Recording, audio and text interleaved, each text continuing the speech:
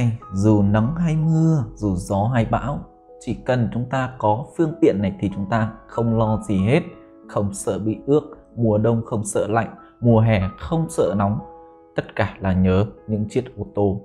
Thời xa xưa, khi chưa có ô tô, người ta đi lại như thế nào? Bạn có hiểu không? Bạn đã bao giờ tìm hiểu? Tất nhiên, vào cuộc cách mạng công nghiệp bùng nổ, một thứ đã được phát minh ra đó chính là ô tô vậy thì bạn có bao giờ thắc mắc quy trình để sản xuất ra một chiếc xe ô tô nó diễn ra như thế nào? Chắc chắn bạn có thể dễ dàng gõ các từ khóa lên các cái trang web, youtube và bạn dễ dàng tìm được các clip nói về sản xuất ô tô. Nhưng không ai chỉ cho bạn biết nó được diễn ra từng bước như thế nào. Tất cả là những clip hỗn độn. Chúng đầy máy móc, chúng đầy con người, chúng đẩy những cái xe chạy thật nhanh. Cho nên trong bài này chúng ta sẽ đi học về quy trình sản xuất xe ô tô. 10 bạn câu hỏi vì sao? Trước hết, để có thể hiểu được toàn bộ video này, chúng ta sẽ phải đi tìm hiểu về quy trình tổng quát trước. Đầu tiên, các bạn sẽ thấy, để sản xuất một chiếc ô tô, việc đầu tiên chúng ta phải làm chính là design styling, tức là thiết kế sau khi chúng ta đã thiết kế được cái ô tô, chúng ta sẽ đi sang bước tiếp theo. Đó chính là sản xuất sản phẩm nguyên, mẫu và tiến hành đánh giá thử nghiệm. Sau khi đã kết thúc được việc này, chúng ta đi sang bước tiếp theo. Đó chính là mass production, hay còn gọi là sản xuất hàng loạt. Đó chính là việc chúng ta áp dụng một dây chuyền sản xuất liên tục, biến từ ý tưởng và nguyên mẫu của chúng ta trở thành hàng triệu, hàng tỷ chiếc xe trong từng phút và từng giây. Cuối cùng, khi chúng ta đã tạo ra những chiếc xe hoàn chỉnh, thì tất nhiên việc quan trọng nhất là kiếm tiền. Cho nên, chúng ta gọi đó là sale and service, tức là bán hàng và dịch vụ hậu mãi. Nhưng nếu chỉ nói thế này, thì bạn chưa thể hình dung ra mức độ phức tạp của quy trình sản xuất xe ô tô.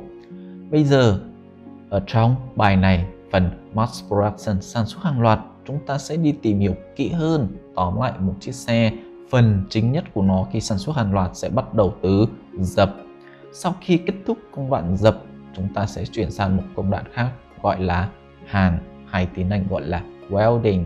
Và sau khi kết thúc welding, chúng ta sẽ sang bước làm đẹp cho xe của chúng ta chính là sơn, painting. Và cuối cùng, chúng ta sẽ đến một bước lắp tất cả mọi thứ lại với nhau, assembly tóm lại, trong từng bước này, chúng ta không thể không thiếu một hoạt động rất là quan trọng. Đó chính là hoạt động đánh giá và kiểm tra chất lượng, inspection. Nói chung, đến đây, bạn đã có cái mừng tượng đầu tiên về quy trình sản xuất xe ô tô một cách đơn giản và dễ hiểu. Sau đây, chúng ta sẽ đi tìm hiểu kỹ hơn. Thứ nhất là design styling tóm lại ở đây. Công ty của chúng ta, các tập đoàn lớn, người ta sẽ thuê những kỹ sư, những người giúp chúng và tài năng. Ở đây, nhiệm vụ quan trọng nhất của người ta đó là phải chọn được loại mẫu xe, chiều dài, chiều rộng, chiều cao. Và quan trọng nhất là loại xe này, mục đích của nó là để làm gì? Chở khách, chở xăng, chở dầu, chở phân. Tóm lại khi chúng ta đã có được cái thiết kế của chúng ta thì lúc này chúng ta chuyển sang bước tiếp theo là chế tạo nguyên mẫu và kiểm tra. Tại sao chúng ta phải làm việc này? Bởi vì bạn không biết chắc cái thứ mình thiết kế ra nó có thật sự tốt hay không. Cho nên chúng ta phải tạo ra một nguyên mẫu và tiến hành kiểm tra đánh giá theo các cái tiêu chuẩn của từng quốc gia hoặc các cái khu vực ví dụ châu Mỹ Latin, châu Âu, Bắc Mỹ. Nói tóm lại, chúng ta phải chế tạo được một cái nguyên mẫu và đem cái nguyên mẫu này đi kiểm tra. Chẳng hạn, các bạn có thể nhìn thấy ở trên đây chính là tiến hành kiểm tra về va chạm.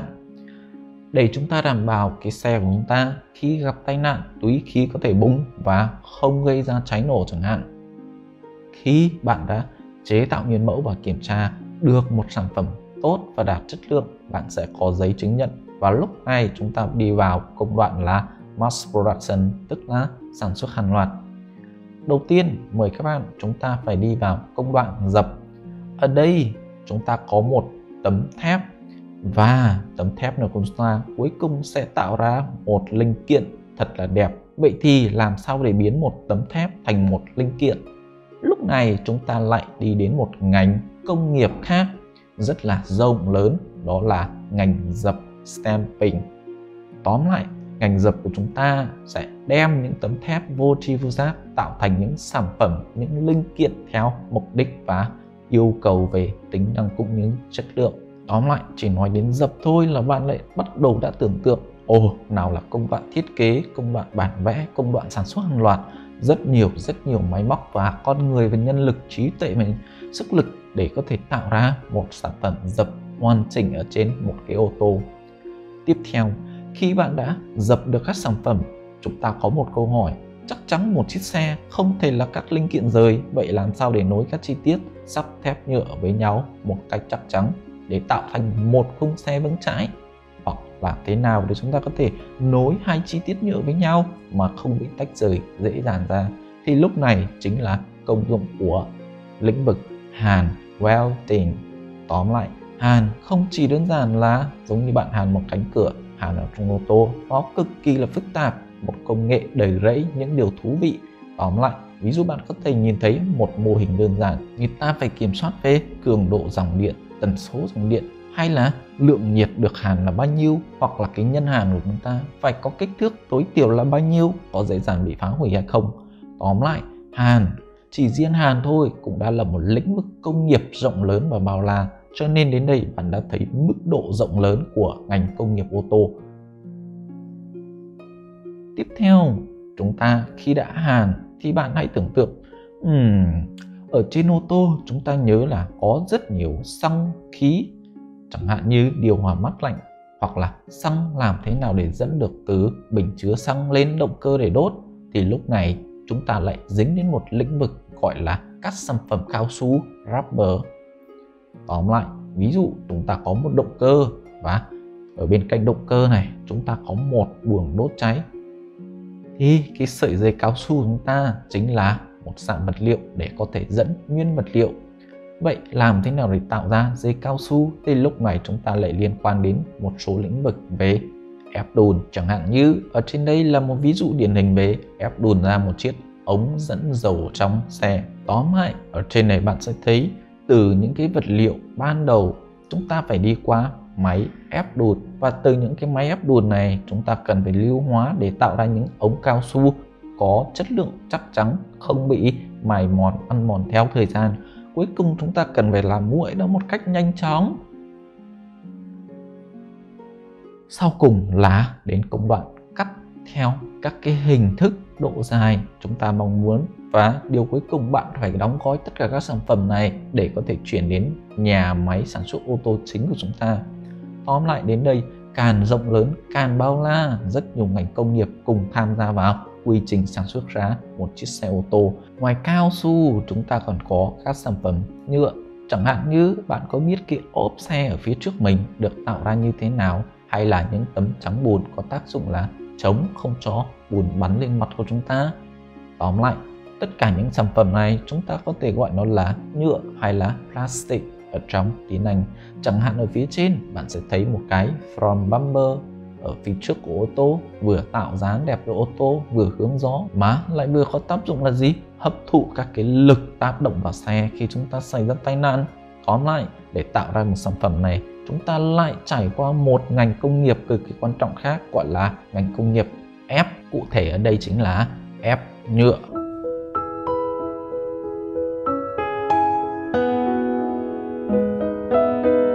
Mà nhựa thì lại phân ra rất là nhiều thứ, nào là nhựa đơn giản, nhựa dạng cao su, hay là nhựa chết, hay là nhựa chống cháy nổ, tóm lại rất nhiều loại nhựa khác nhau và kèm theo đó là các công nghệ khác nhau cho nên ở trên này mình chỉ xin phép lấy một ví dụ về ép nhựa cho bạn xem. Đầu tiên là từ các nhân vật liệu sau đó người ta phải tiến hành thiết kế người ta phê duyệt bản thiết kế này rồi người ta mới tạo ra một chiếc khuôn ép nhựa gọi là injection molding. Và cuối cùng người ta phải xuất ra các bản vẽ 2D, 3D check kỹ kiểm tra chất lượng kỹ càng. Và cuối cùng người ta mới đi gia công nói đến gia công thì chắc hẳn là bạn lại không thể tưởng tượng được đâu nào là chúng ta có EDM, CMC, có phay cắt gọt rất nhiều rất nhiều thứ công nghệ ở đây. Và để có thể biến được những hạt nhựa nguyên bản trở thành một sản phẩm thì người ta phải thông qua máy ép nhựa. Cuối cùng là chúng ta phải kiểm tra tất cả chất lượng đóng gói và chuyển đến nhà máy sản xuất ô tô. Tóm lại ở trên đây là cái quy trình để sản xuất ra một sản phẩm nhựa tiếp theo, bạn có thể nhìn thấy chúng ta có những chiếc xe màu xanh, có những chiếc xe màu trắng, có những chiếc xe màu đỏ và màu đen huyền bí, màu đen black piano. Nói chung, để tạo ra màu cho chiếc xe không chỉ làm đẹp mà còn có tác dụng là bảo vệ, ví dụ chống dỉ sét, chống ăn mòn bởi axit. Thì người ta lại sử dụng đến một lĩnh vực khác gọi là sơn painting. Tóm lại bạn đừng nghĩ là chúng ta chỉ có sơn nhà, sơn xe máy, sơn xe đạp mà ô tô của chúng ta cũng cần phải sơn. Chẳng hạn như trên đây là một dây chuyền để có thể đi sơn được cái ô tô. Đầu tiên, người ta phải thiết kế một bể sơn rất là lớn, sau đó người ta sẽ đưa cả cái khung xe đã được hàn xong đi vào ngâm trong này.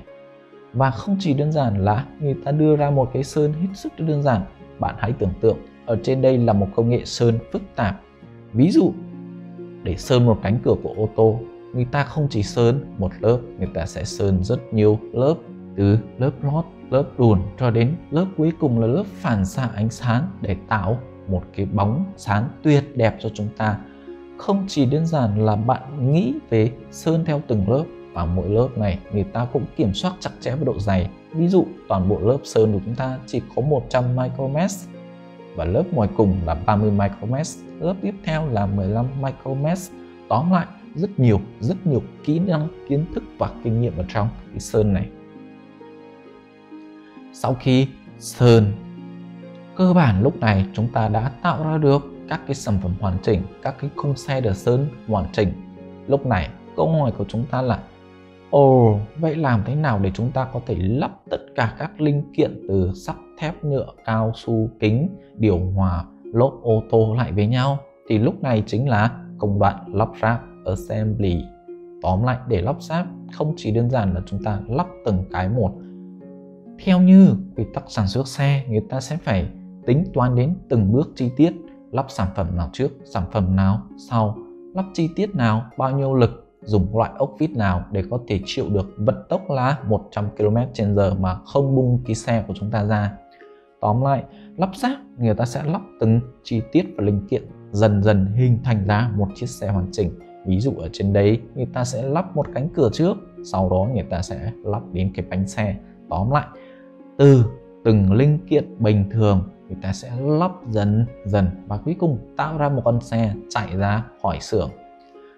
Nhưng trước khi cái xe này có thể chạy ra khỏi xưởng thì người ta phải đi qua bước cuối cùng gọi là inspection là kiểm tra chất lượng tổng thể của toàn bộ cái xe này. Lúc này các kỹ sư QA và QC chúng ta sẽ sử dụng các kiến thức, kỹ năng và tiêu chuẩn để đánh giá chất lượng của cái xe này. Tóm lại, một cái xe đơn giản, nó phải đảm bảo là yêu cầu là đi dừng rẽ. Cho nên vì sao xe của chúng ta thường rất là đắt tiền? Bởi vì nó là một sản phẩm high product, high quality, chất lượng cao và chất lượng tốt.